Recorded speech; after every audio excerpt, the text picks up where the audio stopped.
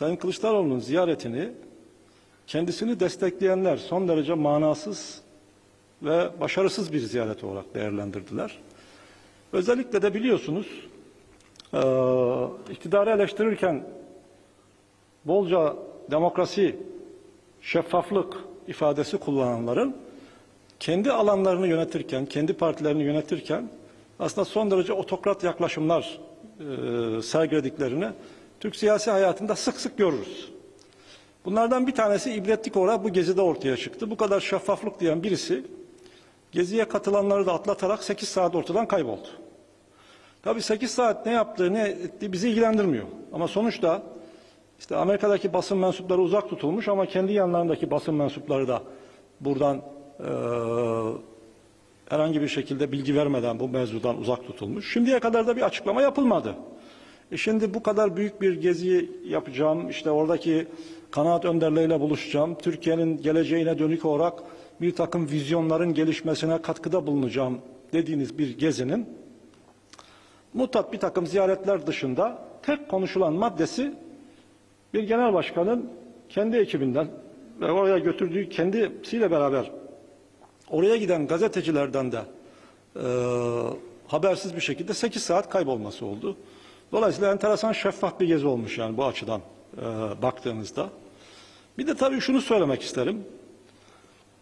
Mesela burada siz arkadaşlarıma söylemek isterim. Şöyle bir cümle. Bu bir CHP'li tarafından söylenmişti. O da şu. İşte Cumhurbaşkanı adayı olacak kişinin sadece kapasitesine bakılmaz. Aynı zamanda ulusal aktörlerin ve uluslararası aktörlerin kimi işaret ettiğine de bakılır diye bir cümle. Ben bunu söylemeyeyim. Bir şey olsun bu. Siz bulun bunu. Bunu hangi, biraz daraltayım alanı, hangi Cumhuriyet Halk Partili Büyükşehir Belediye Başkanı söylemiştir?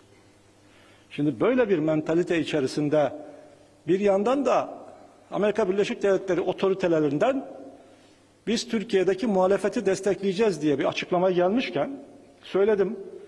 E bir de kendiniz genel- e, Cumhurbaşkanı adayı olmak istediğinizi her yere hissettirirken hani siyasetin biraz daha basiretli, biraz daha ferasetli yapılması, biraz daha dikkatli yapılması gerektiğini, bunun vatandaşımıza izah edilmesi gerektiğini ifade ettim. Geçen e, MYK toplantımızdan sonra. Fakat tam tersinin olduğunu görüyorum. Yani biz muhalefeti destekleyeceğiz diyenlere bu konuda şüphe diyenlerin ortaya koyduğu bu tavırdan dolayı şüphe üretenlere hak verdiricesine bir takım böyle işte 8 saat kaybolmalar ya da benzeri bir takım yaklaşımlarla yani oraya gidenlerin bile veya o partiyi destekleyenlerin bile son derece başarısız bulduğu bir gezi olarak gündeme geldi. Tabii bir siyasi partinin Cumhuriyet Halk Partisi köklü bir siyasi parti.